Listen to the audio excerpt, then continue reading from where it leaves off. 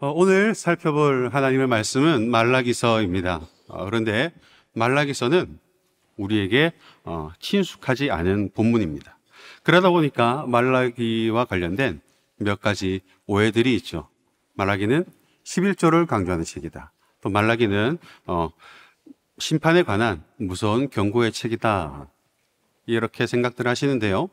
물론 보는 시각에 따라 그렇게 보일 수도 있겠습니다만 말라기 전반에 스며들어 있는 가장 근본적인 그리고 가장 주된 성격은 아주 따뜻한 사랑의 메시지라는 것입니다. 라고 이야기를 하면 아니 목사님 1장 1절에 이스라엘에 말씀하신 경고라라고 시퍼렇게 적혀 있는데 무슨 말씀입니까? 라고 생각하시는 분이 한 12분 정도 계시는 것 같아요. 네. 자, 한번 생각해 보십시오. 여러분들 가정에 다섯 살 또는 여섯 살 정도 되는 아이가 있습니다. 네, 있어요. 네, 믿으시죠? 있습니다. 있는데 다 그 정도 되는 나이. 그 정도 되면 뭐가 생기는가 하면 자기 생각이 생깁니다. 자기 주장이 생기게 되죠. 그러다 보니 때로는 말 안 듣고 잘못된 행동을 하기도 합니다.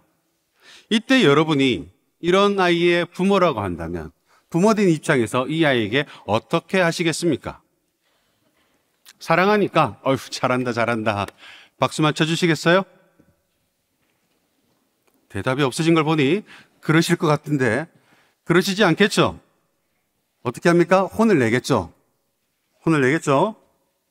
지금 말 안 듣고 그러는 네 모습을 보니까 너는 틀린 것 같아. 더 이상 내 돈과 내 시간을 너에게 투자하지 않겠어. 그러니 이만 끝내자. 라며 호적에서 막 파고 그러진 않잖아요. 그죠? 어떻게 합니까? 그러지 마세요. 따뜻하게 이야기합니다. 따뜻하게 이야기하죠. 차갑고 냉정하게 말합니까? 그럴 수도 있죠. 우리도 인간인데 성질이 나면 화도 내고 하죠. 단호하게도 이야기합니다. 그러나 그 마음만큼은 무엇입니까? 따뜻한 사랑이죠. 왜냐하면 이 아들은 내 아들인데 잘하든 잘못하든 내 아들인데 말이 어떻든지 표현이 어떻든지 그것은 사랑이라는 것입니다. 아들이 잘 되기를 바라는 부모의 마음. 이 말라기서도 마찬가지죠. 그래서 말라기서의 구조를 보면 총 6개의 논쟁 단락으로 이루어져 있고 그 각각의 논쟁들은 앞과 뒤가 원인과 결과로 연결되어 있습니다. 그러므로 이 첫 번째 논쟁, 전체 말라기를 붙들고 있는 이 첫 번째 논쟁인 1장 2절부터 5절에서 무엇을 말씀하고 있는가 하면 하나님께서 이스라엘을 어떻게 사랑하셨는지 그리고 그 사랑으로 그들을 어떻게 지키시고 보호하셨는지 이끌어 가셨는지를 말씀하시고 계심으로써 말라기는 모든 메시지 중심에 하나님의 사랑의 마음이 있음을 밝히고 계신 것입니다. 내가 너희를 여전히 사랑하노라. 그런데 너희는 지금 잘못하고 있다. 그러니 바로 하자. 더 늦기 전에. 그러므로 오늘 본문을 살펴보다 보면 조금 많이 말고요. 조금 아플 수도 있습니다. 왜냐하면 자 그래도 잘못에 대한 책망이기 때문에 그리고 때에 따라 우리의 마음이 힘들어질 수도 있습니다. 왜냐하면 우리의 민낯이 드러나게 될 것이기 때문에 그러나 분명히 기억해야 될 것은 말라기는 사랑의 메시지라는 것입니다. 정말 따뜻한 마음으로 너 그렇게 하지 마. 그러면 안 돼. 그러면 큰일 나. 라고 아주 단호하지만 따뜻하게 사랑의 마음으로 건면하시고 계신 것이니 오늘 본문을 통하여 혹시라도 나의 잘못이 발견된다면 더 늦기 전에 바른 길로 돌이키는 은혜가 있기를 간절히 소망합니다. 아멘. 네. 감사합니다. 네, 가장 먼저 이스라엘의 문제, 그리고 그 문제의 본질이 무엇인지를 파악해야겠죠. 6절인데요. 다 같이 한번 읽어보겠습니다. 시작. 내 이름을 멸시하는 제사장들아 나 만군의 여호와가 너에게 이르기를 아들은 그 아버지를 종은 그 주인을 공경하나니 내가 아버지일진데 나를 공경함이 어디 있느냐 내가 주인일진데 나를 두려워함이 어디 있느냐 아멘. 네. 질문 같아 보이지만 질문이 아닙니다. 아주 강한 확신으로 단호하게 이렇게 말씀하고 계시는 거죠. 이스라엘이 나를 공경하지도 않고 두려워하지도 않고 오히려 멸시한다. 딱 그렇게 말씀하고 있는 겁니다. 그러자 이에 대한 이스라엘의 대답은 그 6절 나머지 부분에 보면 이렇게 말합니다. 우리가 어떻게 주의 이름을 멸시하였나이까? 우리가 언제요? 우리는 그- 그런 적 없습니다. 라는 말이죠. 그러면 질문입니다. 하나님이 오해하신 걸까요? 아니면 이스라엘이 자기들이 그렇게 한 줄 모르고 있는 걸까요? 모르고 있는 거죠. 그리고 6절을 다시 보면 이들이 멸시한 것이 내 이름, 즉 하나님의 이름을 멸시했다고 말씀하고 있는데 이것은 마치 어린아이들이 벽에 낙서로 하나님 바보 이렇게 적은 것 적은 적었다는 말이 아닙니다. 고대에서 이름은 그의 정체성 그리고 성품, 명예, 권력 등을 표, 포괄하는 표현으로서 그 존재 자체를 지칭하는 표현인데 이름을 멸시했다라는 이 말이 시제가 현재형으로 기록되어 있습니다. 그 말은 무슨 말인가 하면 이들이 하나님의 이름을 멸시한 것이 어쩌다 한 번 실수로 그런 것이 아니라 과거에서부터 지금까지 의도적으로 계속해서 그렇게 해왔다는 말인데 정작 당사자들의 대답은 무엇입니까? 우리가 언제요? 우리는 그런 적 없습니다. 여러분 어떤 사건이 발생했을 때 가장 심각한 문제가 무엇인지 아십니까? 사건도 사건이지만 그 사건이 왜 문제가 되는지를 모르는 상황. 이건 답이 없습니다. 왜냐하면 문제가 되는지를 모르고 또 뭐가 문제인지를 모르니까 이 문제가 개선될 여지가 없기 때문인 거죠. 그래서 친절한 하나님은 그들이 무엇을 어떻게 잘못했는지 아주 상세하게 차근차근 설명해 주시고 계시는데요. 7절입니다. 다 같이 읽겠습니다. 시작. 너희가 더러운 떡을 나의 재단에 드리고도 말하기를 우리가 어떻게 주를 더럽게 하였나이까 하는도다. 이는 너희가 여호와의 식탁은 경멸히 여길 것이라 말하기 때문이라. 네. 나의 재단에 더러운 떡을 드렸다. 이 말씀은 그들이 제사 때 더러운 제물을 올렸다는 말씀이겠죠. 어떤 더러운 제물을 드렸는가 하면 8절에 보면 눈먼 희생 제물, 또 저는 것, 병든 것 이런 걸 드렸다는 거죠. 원래는 어떤 제물을 드려야 됩니까?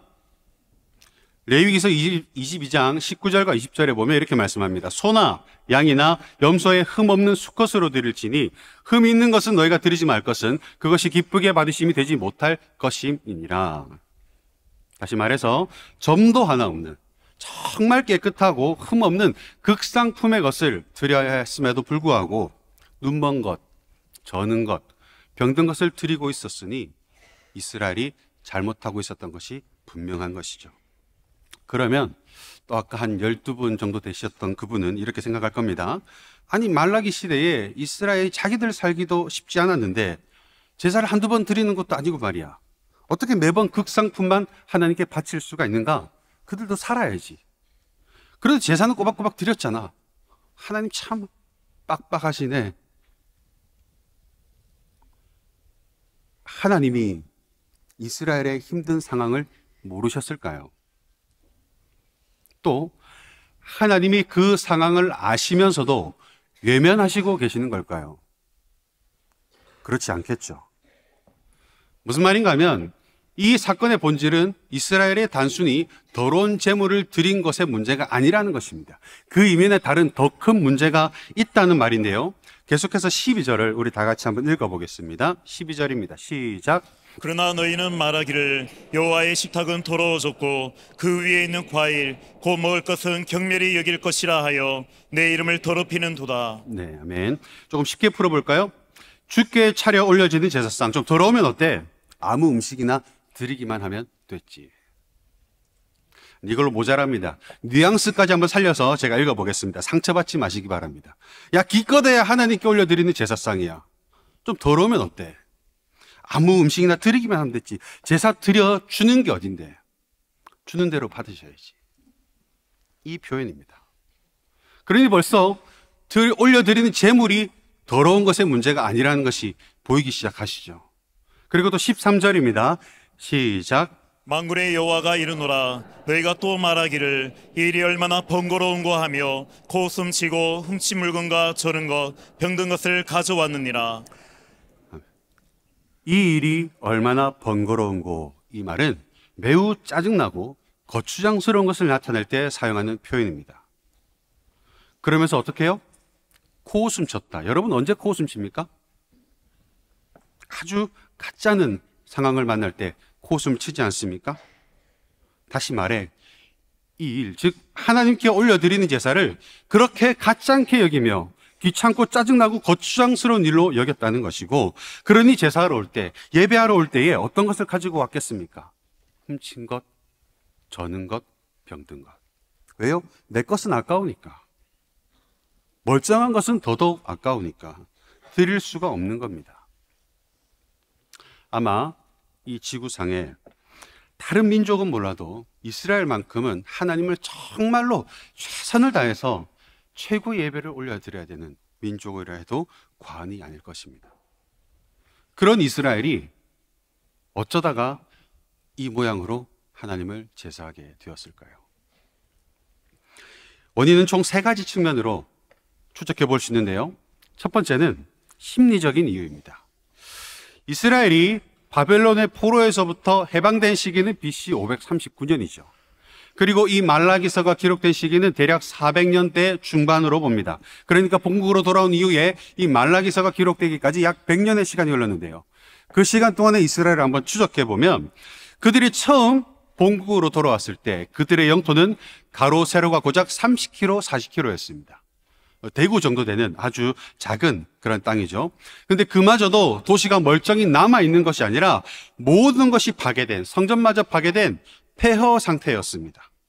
어느 정도로 폐허였는가 하면 이 당시에 전쟁을 하고 나면 승리의 전유물로 도시를 완전히 무너뜨리고 그 위에다 자신들의 도시를 건설하는 일들이 종종 있었는데요. 그렇기 때문에 이 도시를 폐허로 만들 때 적당히 부수지 않습니다. 완전히 가루로 만들어 버리죠. 언제든 자신들의 도시를 세울 수 있도록. 그런데 이스라엘 역시나 그렇게 무너져 있었던 겁니다. 아무것도 남지 않은 상태. 게다가 돌아온 인구는 고작 15만이었습니다. 이스라엘이 광야에서 가나안에 들어갈 때 성인 남자만 60만 3,550명이었습니다.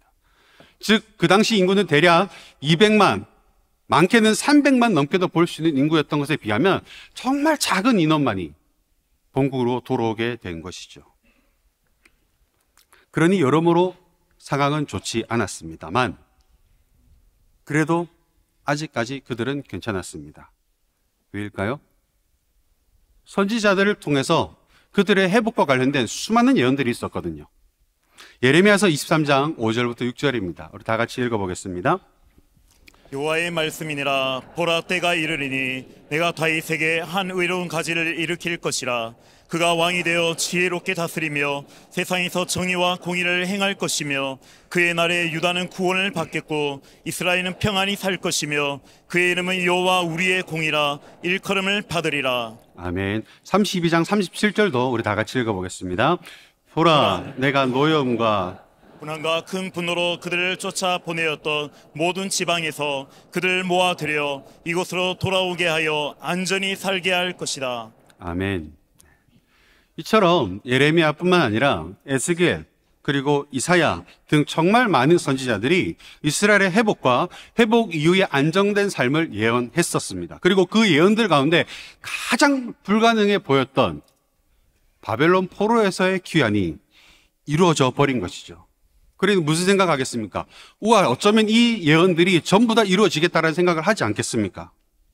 즉, 지금은 엉망진창이나 후회에 도래할 그 핑크빛 미래에 대한 확신이 생겨나기 시작한 겁니다. 그러니까 어째요? 지금은 괜찮은 겁니다. 그래서 그 어려운 살림에도 무엇을 했는가 하면 성전을 세웠습니다. 덜 입고, 덜 먹고, 덜 써가며 벽돌 한 장 더 올리려 고 악착같이 성전을 쌓았죠. 그렇게 하다가 BC 516년에 드디어 성전이 세워졌습니다.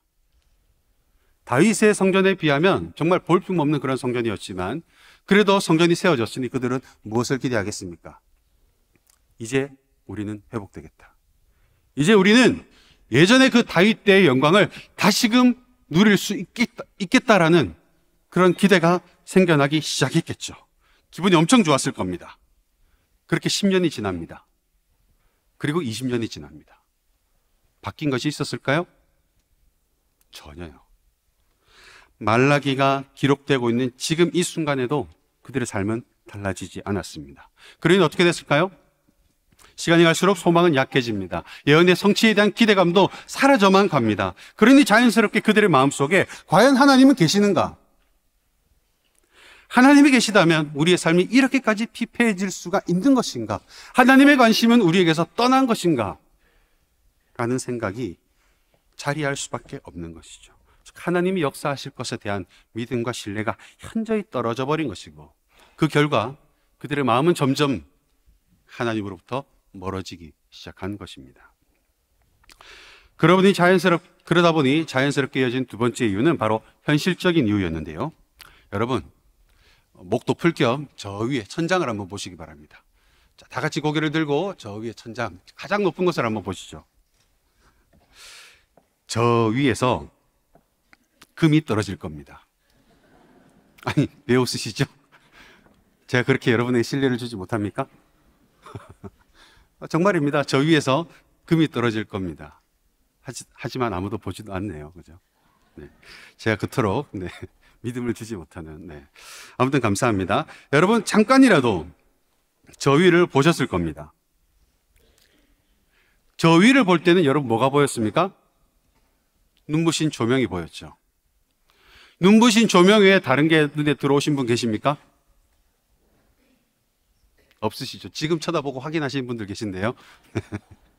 네, 그럼 없습니다. 네. 위를 볼 때는 저기 하얀 조명만 보였습니다. 다른 것 아무것도 안 보였을 겁니다. 그러다가 점점 눈이 내려오기 시작했는데요. 왜 내려오셨나요? 제 말을 안 믿으니까. 그죠? 저 위에서 금이 떨어지지 않을 거라는 것을 아니까. 그렇게 눈이 내려오기 시작하니까 뭐가 보이시기, 뭐가 보이기 시작했습니까?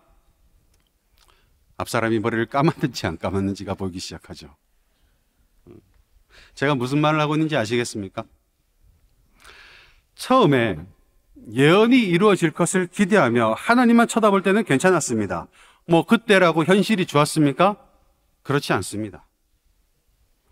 하지만 소망이 있었기 때문에 회복시키실 것에 대한 믿음, 그리고 예언이 성취될 것에 대한 기대가 있었기 때문에 괜찮았죠. 현, 현실은 신경 쓰이지 않았습니다. 그러나 시간이 지날수록 그 소망과 믿음이 희미해지기 시작했고, 그러니 결국 그들의 시선은 이 앞으로, 이 땅으로, 아래로 내려오기 시작한 것입니다. 그리고 그 시선이 내려오게 되면 뭐가 보이기 시작합니까? 자연스럽게 그들이 볼 필요가 없었던 것들.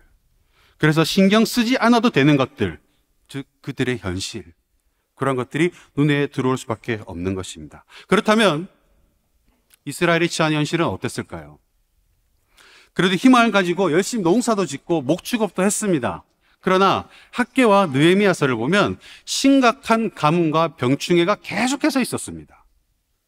설상가상으로 이스라엘이 포로로 잡혀가지 않았습니까? 그 시간 동안 그 빈 땅에 사, 들어와 살았던 많은 이주민들, 강대국의 칙령, 고레스의 칙령이 있으니까 어쩔 수 없이 그 땅을 비켜주긴 했지만 기분이 좋을 리가 없겠죠. 그러니 어떻게 하겠습니까? 계속해서 괴롭히는 겁니다. 약탈과 테러와 방해. 이것이 어디서 나타나는가 하면 이스라엘이 성전과 성벽을 재건하라 할 때에 정말 어마어마하게 방해했죠. 그러니 이스라엘의 삶은 어떠했 겠습니까? 어려울 수밖에 없는 것이죠. 단 한순간이 아니라 매 순간이. 그러니 제사를 드리기 위하여 극상품 양을 끌고 갈 때마다 그리고 그 양을 볼 때마다 무슨 생각이 들겠습니까? 저거 내다 팔면 오늘 우리 식구 따뜻한 밥 한 끼 먹을 수 있는데 제가 억지 부리고 있는 게 아니죠. 인간이기 때문에 사람이기 때문에 자녀를 둔 부모이기 때문에 이 생각은 어쩔 수 없는 것입니다. 당연한 것이죠. 이때 찾아오는 세 번째 요인이 바로 환경으로 인한 현실과의 타협입니다. 이 당시에는 이스라엘만 신을 섬겼던 것이 아닙니다. 모든 나라들이 각자의 신을 섬겼는데요. 그 중에서 이스라엘에게 영향을 미쳤을 법한 주변국들, 가나안과 블레셋을 보면 그들은 제사를 드릴 때에 극상품 제물을 드리지 않았다고 합니다. 흠, 흠 있는 것들, 못 쓰는 것들, 이런 것들만 제사를 올렸다고 합니다. 그러니 그 모습을 바라보아 알고 있는 이스라엘은 어떻게 했을까요? 온다는 메시아는 오지 않고 회복될 것이라 말했는데 회복도 안 되고 그것 기다렸다는 그거 기다렸다가는 다 죽을 판이고 그러니 우선 좀 살기라도 해야겠는데 주변국들 보니까 다들 흠 있고 적당히 문제 있는 것들 제사상에 올리고 있거든요. 그런 이들도 차츰차츰 어차피 메시아도 오지도 않고 회복도 안 되고 우리에게 관심도 없는 것 같은데 상한 것 좀 드리면 어때? 가져오면 바로 각 잡고 불태워 버리는데 알게 뭐야? 누가 알겠어? 라는 생각들이 누룩처럼 번져가기 시작한 것이고 시간이 지날수록 극상품은 내다 팔고 흠 있는 것들만 올려드리기 시작한 사람들 그들의 형편은 그나마 조금씩 나아지기 시작했을 것이고 그러니 따라하는 사람들이 점점 늘어났겠죠. 여러분 눈이 하나만 있는 사람들이 모여 사는 동네가 있었습니다. 그곳에 눈이 두 개인 사람이 있었다면 눈이 두 개인 것이 정상으로 여겨질까요? 아니죠. 그러면 이 눈이 두 개인 사람은 어떻게 하겠습니까? 그들에게 손가락질 받지 않기 위하여, 그들과 동화되기 위하여, 자연스럽게 그들 가운데 녹아들기 위하여 스스로 자신의 눈을 하나로 만들어 가는 것입니다. 마치 그것이 정상인 것처럼 보이기 때문에 오늘 본문의 이스라엘의 행태가 딱 그 모양이죠. 그러니 이 사건, 이들의 잘못의 본질이 어디 있는가 하면 하나님에 대한 소망의 상실, 하나님이 일하실 것에 대한 기대감의 상실이 그들로 하여금 현실을 보게 만들었고 그 현실의 문제가 그들에게 더 큰 과제로 다가왔으며 결국 그 현, 현실의 문제를 해결하기 위하여 세상과 적당한 타협을 하기 시작한 것이고 이런 상황에서 드리는 제사가 제대로 될 리가 없죠. 이미 우선순위에서 밀려나 있는데 하나님께 올려드릴 것은 남은 것, 못 쓰는 것, 훔친 것이 될 수밖에 없는 것입니다. 그래서 하나님은 이렇게 말씀하십니다. 8절 하반절입니다. 우리 다 같이 읽어보겠습니다. 시작. 이제 그것을 너희 총독에게 드려보라. 그가 너를 기뻐하겠으며 너를 받아 주겠느냐. 아멘. 실제로 이렇게 하면 어떻게 될까요? 총독에게 갈 것도 없습니다. 자, 다시 한번. 여러분은 이제부터 시어머니입니다. 누구라고요? 믿으십시오. 나는 시어머니다. 자, 그런데 명절이 되었습니다. 아들과 며느리들이 집에 오겠죠? 그런데 빈손으로 오지 않아요. 명절이니까 선물이라는 걸 들고 집에 왔습니다. 기쁜 마음으로 열어봤더니 어째요? 먹다 남은 음식. 고춧가루가 덕지덕지 붙어 있고 과일들은 다 곰팡이가 썩어 있습니다. 그러면서도 이 며느리는 어머니에게 말합니다. 어머니, 어머니를 위해 준비했어요. 왜 웃으시죠? 그것을 받은 시어머니 된 여러분의 심정은 어떻겠습니까?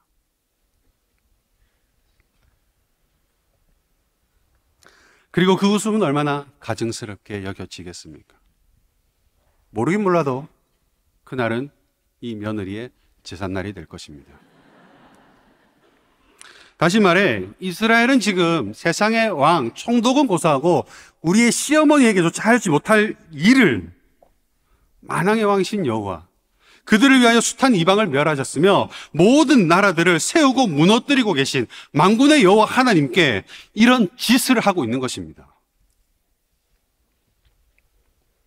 그런데도 가증스러운 게 뭔지 아십니까?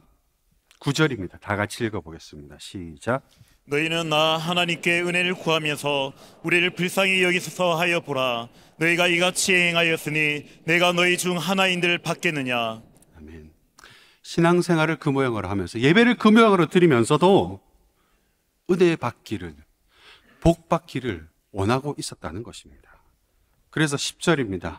또 다 같이 읽겠습니다. 시작. 너희가 내 재단 위에 헛되이 불사르지 못하게 하기 위하여 너희 중에 성전문을 닫을 자가 있었으면 좋겠도다. 그럴 거면 차라리 예배를 드리지 말았으면 좋겠다. 누가 더 이상 예배를 드리지 못하도록 저기 교회 문 좀 닫아줬으면 좋겠다라고 통곡하고 계신 것입니다. 왜 이렇게까지 말씀하실까요? 여러분 예배의 목적이 무엇입니까? 예배 자리에 나와서 우리가 은혜 받는 것 물론 중요합니다. 하지만 예배의 가장 크고 우선된 목적은 하나님께 나 자신을 그리고 나의 시간을 하나님께 올려드림으로써 그런 나를 통하여 그런 예, 나의 예배를 통하여 하나님께서 영광과 존귀를 받으시는 것. 이것이 예배의 가장 크고 우선된 목적인데 지금 이스라엘의 예배는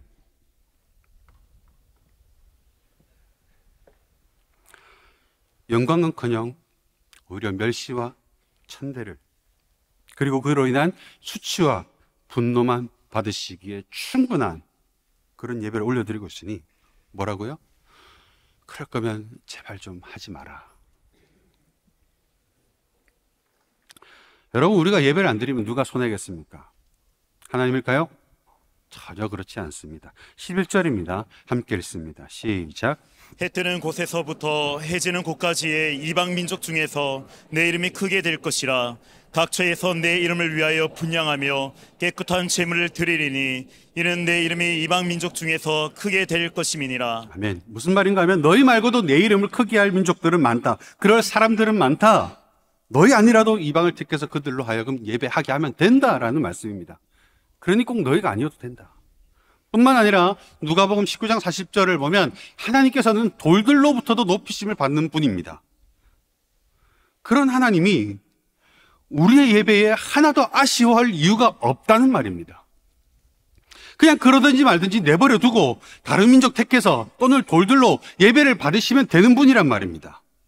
그게 더 간단하죠. 이렇게 입 아프게 거추장스럽게 이렇게 말하고 있을 이유, 하등의 이유가 하나님께는 없다는 것입니다. 그럼에도 불구하고 이렇게 하고 계신 이유가 뭐겠습니까?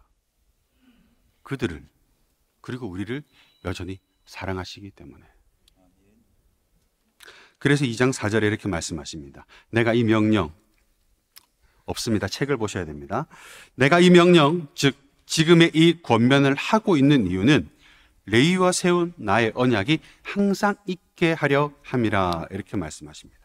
그리고 나서 5절에 가면요. 레이와 세운 나의 이 언약은 생명과 평강의 언약이라. 내가 이것을 그에게 준 것은 그로 경외하게 하려 함이라. 그가 나를 경외하고 내 이름을 두려워하였으며 6절인데요. 다 같이 읽겠습니다. 6절. 시작. 그의 입에는 진리의 법이 있었고 그의 입술에는 불의함이 없었으며 그가 화평함과 정직함으로 나와 동행하며 많은 사람을 돌이켜 죄악에서 떠나게 하였느니라. 아멘.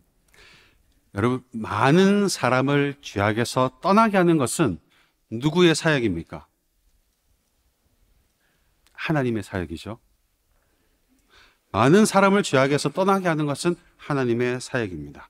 그런데 그 사역에 우리가 동참할 수 있게 되는 방법은 무엇입니까? 우리가 방금 다 같이 읽었잖아요. 레위의 언약이 항상 있을 때, 다시 말하면 우리의 예배가 바로 서 있을 때, 그때 비로소 우리는 하나님의 사역에 동참할 수 있게 되는 것이고, 그때 비로소 우리는 우리를 지으신 그 목적에 합당한 삶을 살 수 있게 되는 것이고 그때 비로소 하나님의 아들이라는 신분에 합당한 삶 그때 비로소 예수 그리스도의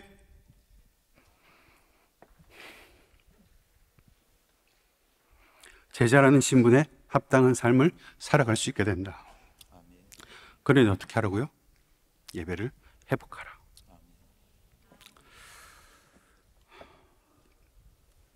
여러분의 예배가 회복되기를 원하십니까? 아멘. 회복된 예배를 통하여 온전해지시기를 원하십니까? 아멘.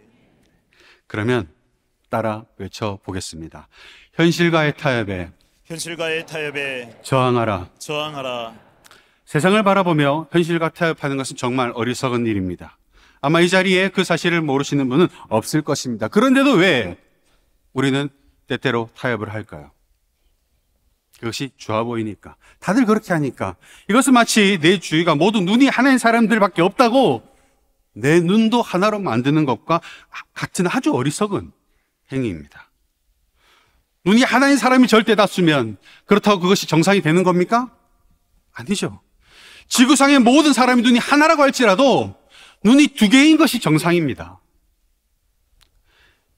비록 나 혼자라 할지라도 그래서 내 삶이 어려워진다 할지라도 모두가 나에게 바보라고 손가락질한다 할지라도 정상이 아니라 할지라도 우리에게 아- 허락된 아주 소중한 유산인 이 말씀에 비추어서 우리가 마땅히 바라봐야 할 것만 바라보고 지향해야 할 목표만 지향하며 걸어내야 할 삶을 그 길을 덤덤하게 걸어내는 것. 그것이 바로 정상. 하나님의 은혜를 아는 정상인의 삶인 것입니다. 한 마리의 고고한 학처럼. 세상은 끊임없이 우리에게 말합니다. 예배 한 번 안 드리면 어때? 헌금 한 번 안 하면 어때? 지금 온 나라가 뭐 하고 있습니까? 블랙 프라이데이 세일을 하는 중이죠. 이 기회에 건조기 세탁기 바꿔야지. 언제 바꾸려고 그래? 맞습니다. 그렇게 한 번 안 한다고 지옥 가지는 않습니다. 그러나 그렇게 한 번, 두 번 하다 보면 언젠가는 완전히 넘어가게 되겠죠. 그렇게 스스로 눈을 하나로 만들어 가는 겁니다. 그러지 않기 위하여 두 번째 따라 외쳐보겠습니다. 시선을 시선을 하늘로 하늘 들어라. 들라. 예. 최선을 다해서 크게 외치고 외치고 계신 거 맞죠? 네. 우리의 눈을 다시 하늘로 들어야 됩니다. 아까 저 위를 바라볼 때를 기억하십니까? 기억하시죠? 네. 오직 내가 바라보던 지점에 아무것도 안 보였을 것입니다. 그러다가 시선이 내려오니까 뭐가 보이기 시작했습니까? 앞 사람의 뒤통수. 다시 말하면 볼 이유가 없는 수많은 것들. 그 중에서도 우리를 향한 끊임없는 세상의 손짓, 타협하며 적당히 살아도 된다는 유혹, 다들 그렇게 적당히 화평하며 살아간다라는 미혹. 하나님은 우리를 세상의 빛으로 세상의 소금으로 부르셨습니다. 그렇기 때문에 우리 옆에는 언제나 이런 미혹들이 있을 수밖에 없습니다. 그런데 우리가 하늘만 자, 하나님만 바라볼 때는 이것들이 보이지 않습니다. 그러니까 우리에게 영향을 미치지도 못합니다. 그러나 우리의 시선이 내려오는 순간 어떻게 됩니까? 보이기 시작하게 되죠. 그러면서 무슨 생각합니까? 아, 저 사람은 교회 오면서 왜 머리도 안 감고 왔어? 라는 아주 쓸데없는 생각을 하기 시작하는 거죠. 보이기 시작하고, 보이니까 영향을 받기 시작하고, 영향을 받기 시작하니까 어떤 생각을 합니까? 재밌어 보인다. 자유로워 보인다. 편해 보인다. 좋아 보인다. 생각으로 그칠까요? 언젠가는 실천에 옮겨지게 되겠죠. 여러분, 우리가 그들의 삶이 얼마나 행복하고 즐거운지 꼭 알아야 됩니까? 그보다 더 행복하고 즐거운 삶이 저 위에 있는데, 할 필요 없는 것들이 우리의 시선이 내려오는 순간 보기 시작하는 것이고, 그것들이 우리에게 타협을 종용하기 시작하는 것입니다. 그래서 우리의 시선을 하늘에 고정해 두기 위한 세 번째, 따라 외쳐봅니다. 하나님을 하나님을 기대하라. 기대하라. 감사합니다. 하나님을 기대해야 합니다. 하나님을 신뢰해야 합니다. 그리고 그 신뢰는 변하지 않아야 합니다. 오히려 점점 더 굳어져 가야만 합니다. 왜? 하나님은 변하지 않는 분이기 때문에. 하나님은 언제나 우리를 위해 일하십니다. 내가 태어나는 그 순간부터 지금까지 단 한순간도 나를 혼자 내버려 두신 적이 없으십니다. 언제나 나와 함께 하셨으며 어제도 나의 오늘도 그리고 나의 내일도 오직 나를 위하여 내가 잘 되도록 해주시기 위하여 그 모든 날들을 나에게 가장 합당한 환경으로 열어주시고 계신 분이 바로 하나님이십니다. 믿으십니까? 아멘. 이 사실에 대한 확신, 강한 확신으로 우리의 시선은 하나님을 향한 충만한 기대로 하늘로에만 머물러 있어야 하는 것입니다. 아멘. 그래서 마지막입니다. 가장 중요한 네 번째. 따라 외쳐보겠습니다. 하나님의 흔적을 하나님의 흔적을 찾으라. 찾으라. 내 삶에 쉬지 않고 일하시는 하나님의 흔적을 찾아야 됩니다. 아들까지 내어주시며 살려낸 존재가 바로 나입니다. 그 말은 나라는 존재는 하나님에게 있어서 아주 소중한 존재. 그래서 그냥 대충 적당히 살도록 내버려 둘 수 있는 존재가 아니라는 것입니다. 그러니 내가 인지하든 인지하지 못하든 지금도 살아 역사하시고 창세 이후로 지금까지 변치 않는 사랑으로 나를 사랑해 주시는 그 하나님께서는 우리의 삶에 역사해 오셨고 또 역사하실 것입니다. 이 말은 주문이나 암시가 아닙니다. 또한 그 어떤 이론이나 이상이나 사상보다도 명확한 팩트입니다. 다만 내 눈이 어두워서 그것을 보지 못하고 있었던 것인데 어떻게든 그것을 찾아야 하는 것입니다. 어떻게 찾을까요? 지난 날을 돌아봄으로써 어제가 없는 오늘은 없습니다. 그리고 오늘이 없는 내일도 없습니다. 그 수많은 날들 동안 하나님은 정말 많은 역사를 이루어 주셨는데 그 수많은 역사들 중에 많이도 말고 딱 세 번의 흔적만 찾아보시기 바랍니다. 그리고 그 일을 한번 묵상해 보십시오. 그냥 지나왔는데 묵상해 보십시오. 그 일을 이루기까지 하나님께서는 어떤 사람들을 움직이셨는지, 그리고 그 사람들을 움직이기 위하여 어떤 역사들을 하셨는지, 그리고 그 환경을 바꾸기 위하여 도대체 어떤 일들을 하셨는지 한번 묵상해 보십시오. 단언컨대 그 하나님의 일하심이 깨달아지는 순간 눈물과 함께 회개 기도가 쏟아질 것입니다. 그리고 감사의 고백이 여러분의 입술에서 끊이지 않을 것입니다. 그래서 그 뜨거운 하나님의 사랑이 명확하게 내 가슴에, 내 마음에 새겨질 것입니다. 이렇게 되어진다면 앞으로 어떤 일이 닥쳐온다 할지라도 그 일이 아니라 그 일을 이루시는 하나님을 기대하게 되고 그 기대감에 의하여 하나님이 보이기 시작할 수밖에 없고 그 횟수가 늘어날수록 세상이 알지 못하는 기쁨과 평안과 무엇인지 체험으로 알게 되고 그때 비로소 우리 예배는 하나님이 기뻐 받으시는 예배, 영과 진리로 올려드리는 예배가 될 것입니다. 말씀을 맺겠습니다. 지난 수요일에 한갈래 선교사님께서 말씀을 전해 주셨는데요. 이런 말씀을 하셨습니다. 진정한 안식의 의미는 달려가던 나를 멈추는 것이다. 진정한 안식의 의미는 달려가던 나를 멈추는 것이다. 이 말이 저로 하여금 한참을 묵상하게 만들었습니다. 여러분의 오늘은 어떻습니까?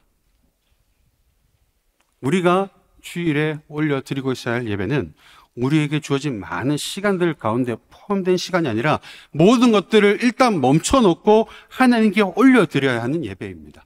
최우선하여서 이 시간을 올려드려야 하는 예배인 것이고 그렇게 드렸을 때 바로 좀도 없고 흠도 없이 올려드리는 온전한 예배가 될 수 있는 것입니다. 우리는 하나님을 예배 드려주는 것이 절대로 아닙니다. 하나님은 우리 예배 안 받으시면 그만입니다. 이렇게 입 아프게 선지자를 통하여 말씀하고 계실 필요도 없다는 것입니다. 예배를 통하여 진짜 혜택을 보는 것은 우리입니다. 소도에 말씀드린 것처럼 말라기에는 총 여섯 가지 논쟁이 등장합니다. 그리고 그 논쟁들은 각각의 원인과 결과로 연결되어 있습니다. 그런데 이 두 번째 논쟁에서 예배에 대하여 언급하고 있는 것은 무슨 말이겠습니까? 이후에 나오는 모든 잘못들이, 모든 문제가 이 무너진 예배로부터 비롯되었다는 말이겠죠. 그 문제들을 회복하기 위해서 무엇을 채워야 된단 말이겠습니까? 우리 예배가 바로 서야 된다. 그러지 않고는 방법이 없다. 말씀하고 있는 것입니다. 여러분의 예배는 안녕하십니까? 여러분의 예배가 온전히 회복되시기를 주님의 이름으로 간절히 소망합니다. 아멘.